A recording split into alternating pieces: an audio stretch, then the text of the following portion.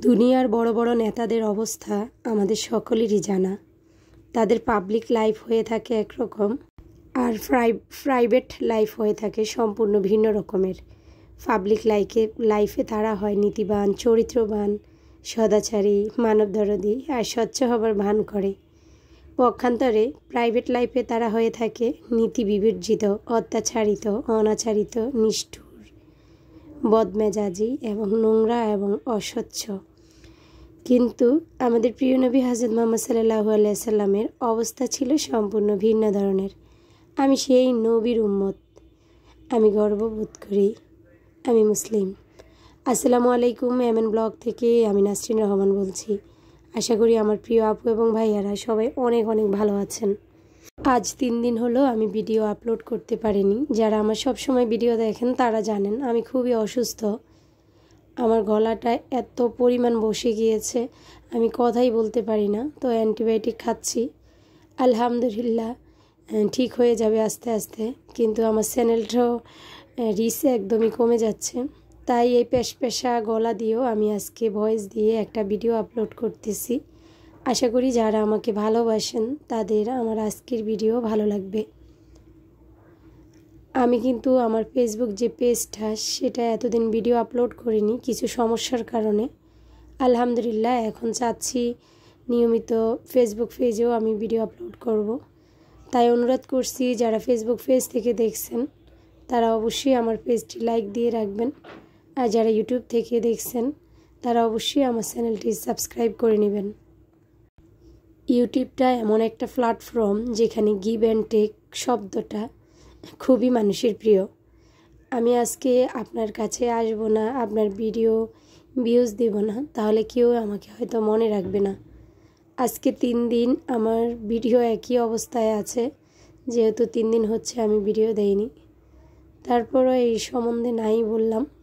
আজকের ভিডিওতে আমি আপনাদেরকে যে জিনিস এখন এগুলা দেখাচ্ছি এগুলা সবগুলাই আমার হাতে তৈরি।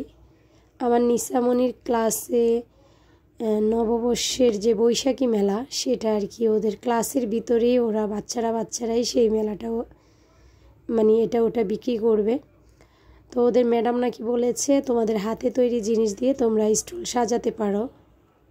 নিসা বাসায় আসলে মানে বাসায় এসে বলতেছে ও স্টল দিবে। তো তার জন্য আমি কি করব বুঝতে পারতেছি না। তারপর নিসামণি আমাকে বলল, মা, তোমার হাতে তৈরি কিছু জিনিস দাও, দেখি আমার ফ্রেন্ডরা পছন্দ করে কিনে কিনা।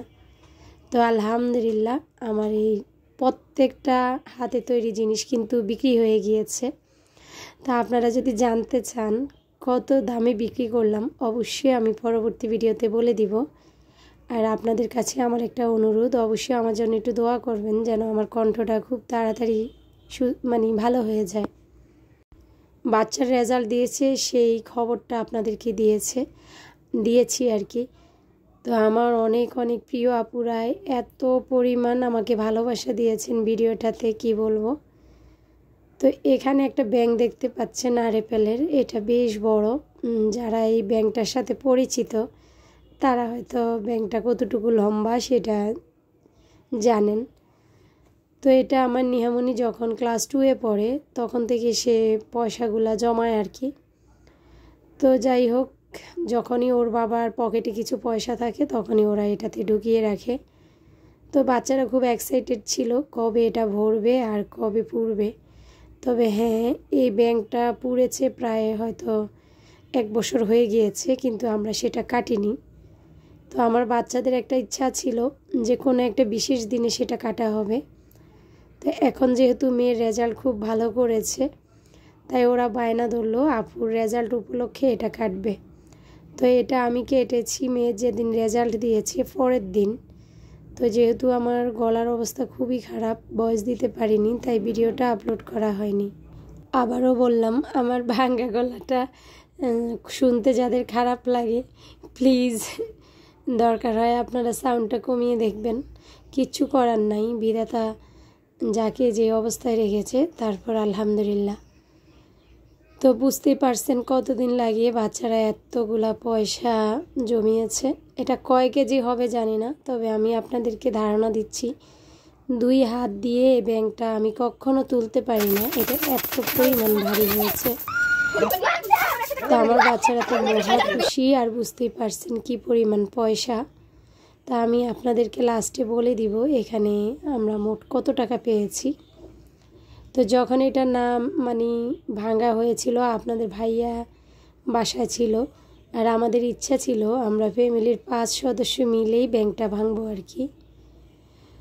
তো আপনাদের ভাইয়া তো বলতেছে, এখন এই পয়সাগুলা দিয়ে কি করবা? আল্লাহ জানে কোথায় এগুলা সেল করব। তো আপনাদের ভাইয়া এখন সিদ্ধান্ত নিয়েছে কিছু কিছু করে দোকানে দোকানে দিয়ে দিবে, তাহলে এটা টাকায় কনভার্ট হবে আর কি। তো প্রথমে আমরা পয়সাগুলা সুবিধার্থে আর কি, পাঁচ টাকার যে কয়েনগুলো সেগুলো আলাদা করেছি। তো আমার ইচ্ছা ছিল এই ব্যাংকটাতে সম্পূর্ণই পাঁচ টাকার কয়েনগুলাই রাখব, কিন্তু বাচ্চারা যখন যা পেয়েছে সেগুলাই ঢুকিয়েছে আসলে। এখানে পাঁচ টাকা আর হয়েছে দুই টাকা, এক টাকা। এই তিন পদের কয়েনটাই বেশি আর কি। তো এই তো পাঁচ টাকার কয়েনগুলো আমরা এই ঝুড়িতে নিয়ে নিয়েছি। এক টাকার কয়েনগুলো আলাদা করেছি, দেখাচ্ছি আপনাদেরকে। এগুলা সব পাঁচ টাকার কয়েন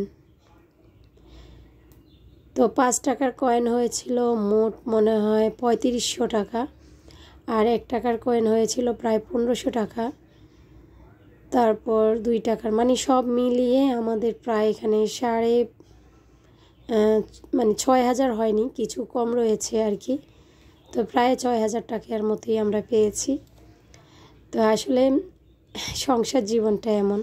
এটা কিন্তু আমার বাচ্চারা খেলার ছলেই রেখেছে। খেলার ছলে দুই একটা করে জমাতে জমাতে এখানেও বেশ টাকা হয়েছে আর কি। তো এই টাকা দিয়ে কি করব জানি না, তবে টাকাটা ভেঙেছি, সেটাই ভালো লেগেছে। তারপর অসুস্থ শরীর কিছু করার নেই। আপনাদের ভাইয়া বাসায় ছিল না। হঠাৎ করে মানে ফোন পেলাম, আমার ভাগিনা দুইজন আমার বাসায় আসবে। তো তার জন্য আমি নিজে বাইরে গেলাম, বাইরে যে একটু গরুর মাংস নিয়ে এসেছি। আর যখন আমি বাইরে গিয়েছি, এই সময় আসলে গরুর মাংস বেশি একটা পাওয়া যায় না। তো যাই হোক, তারপর আমি আসরের পর এখানে রান্না করছিলাম। আর এখানে আমি এই যে রোস্ট রান্না করছি, তারপর গরুর মাংস রান্না করেছিলাম। রুই মাছ বোনা করেছিলাম, আর সাদা পোলাও রান্না করেছিলাম। মনটা খুবই খারাপ ছিল। মেয়ের পরীক্ষা ভালো হয়েছে। সেখানে অনেক আনন্দ করার চেষ্টা করেছি। কিন্তু সেই আনন্দের মাঝে দেখা যায় একটা খারাপ সময়ের মধ্যে দিয়েও কাটিয়েছি। তো সেই খারাপ সময়টা কি, সেটা না হয় আমি পরবর্তী ভিডিওতেই বলব। গলাটা হয়তো আরেকদিন গেলে আরেকটু ভালো হবে সেই আশা আর কি। তো এখানে আমি গরুর মাংসটা বসিয়ে দিচ্ছিলাম।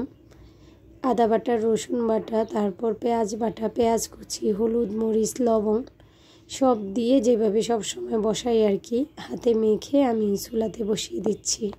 আমার অনেক আপুরা আমার জন্য অনেক অনেক দোয়া করেছেন এবং আমার মেসেঞ্জারে, তারপর মানে পার্সোনালিভাবে অনেক আপুরা আমার খোঁজ নিয়েছেন যে আমার অবস্থা কেমন। তো অবশ্যই আমি পরবর্তীতে আমার আপুদের সুন্দর সুন্দর কমেন্টসগুলো পড়ব। যেহেতু আজকে গলাটা বেশি একটা ভালো নেই, কথা বলতেও কষ্ট হয়। তো তার জন্য আমি আজকে কমেন্টসগুলো পড়িনি। তো দেখতেই পাচ্ছেন রান্নাগুলা মাসাল্লাহ অনেক মজা হয়েছিল। মানে দুইজন এসেছে ভাগিনা। তো ভাগিনারা খেয়ে বলতেছে রান্না অনেক মজা হয়েছে। আর গরুর মাংস রান্না করা মানেই আমাদের ঘরে আর কি আলু দিতেই হবে। সেটা বাচ্চাদের আগে আমারই বেশি পছন্দ। তো কে কে গরুর মাংসের আলু খেতে ভালোবাসেন না আমাকে কমেন্টস করে জানাতে পারেন। যেহেতু আসরের পর রান্না করেছি, রান্না করতে করতে মাগরিবের আজান দিয়ে দিয়েছে। তো মাগরিবের পর আমার বাচ্চারা নাস্তা খায়নি। আমি বললাম, গরম গরম পোলাও, রোস্ট, গরুর মাংস তোমরা খেয়ে নাও। তো এটা নিহার পরীক্ষার রেজাল্টের পরের দিন ছিল। আর দেখেন, ওরা মাগরিবের নামাজ পড়ে টিভি দেখছিল আর আমি ওদেরকে এখানেই খাবার দিয়েছি। এটা ছিল আমার পরের দিন দুপুরের রান্না। লেট ওভার কিছু তরকারি রয়েছে, সাথে নতুন তরকারি, ডিম আর ডাল রান্না করেছি। এই ছিল আজকের ভিডিও সবাই ভালো থাকবেন, সুস্থ থাকবেন। আল্লাহ হাফিজ।